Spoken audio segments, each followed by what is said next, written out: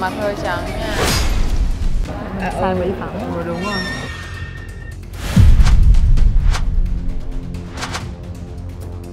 Đồ thật các shop ạ. Sao da mặt lại trắng hơn da người nhỉ anh nhỉ? Anh nhìn trên này này. Em có dùng kem trộn không? Em dùng cái gì? Em đang bôi cái gì trên mặt đấy? Em đang bôi kem dưỡng ẩm đấy ạ. Anh mà phát hiện ra không phải kem dưỡng ẩm là anh cho ẩm luôn nhá. Da da da mặt trắng da người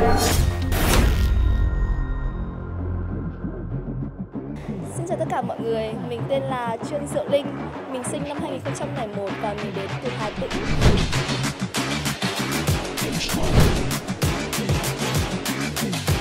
Mặt trắng nha mặt hơi trắng nha.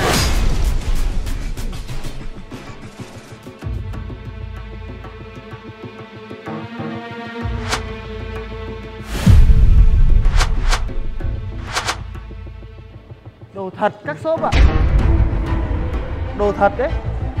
Thế á? Ừ. Nhưng mà sao da mặt lại trắng hơn da người nhỉ anh nhỉ? Anh nhìn trên này này. Em có dùng kem trộn không?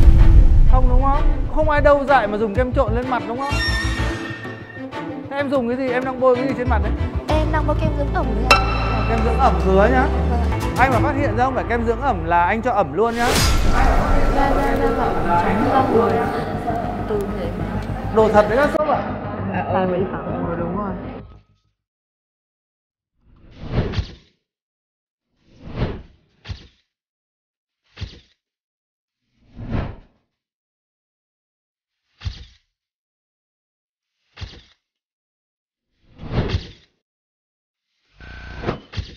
Hãy cho anh những cái cảm xúc nó mới hơn nào, tươi tắn, fresh lên nào Trẻ trung nào, đúng rồi, năng động lên Quậy phá lên.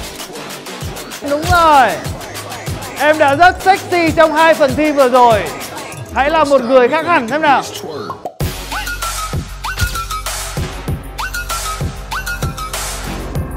Và xin cảm ơn. Chị Thư bảo là đừng có thoa kem nó nữa nha. Mà qua chị Thư, chị Thư bán cho hũ kem khác. Em biết tại sao anh dừng tấm hình này lại không? Đôi mắt đúng không ạ? Em có một cái nét nhang nhác giống với một người mà anh rất là thích. Lý Gia Hân. Diễn viên Hồng Kông, Lý Gia Hân, Hoa hậu Hồng Kông luôn. Ở cái thời à, điểm của bọn anh là ai cũng thích cái chị này. Cũng ờ, có cái nét môi, ánh mắt rồi lông mày cũng rậm như vậy.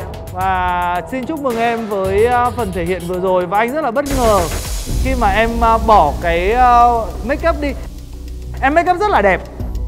Cái lần nào em xuất hiện, những cái layout make up của em nó đều rất là phù hợp với trang phục, với cái cách biểu hiện của em.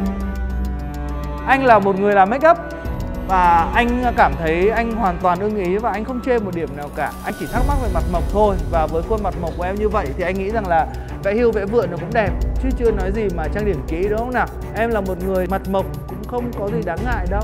Xin chúc mừng em. Cảm ơn chị.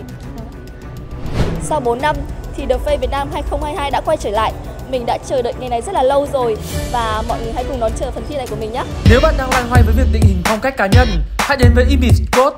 Chúng tôi sẽ giúp bạn thay đổi hình ảnh để tự tin và thành công hơn.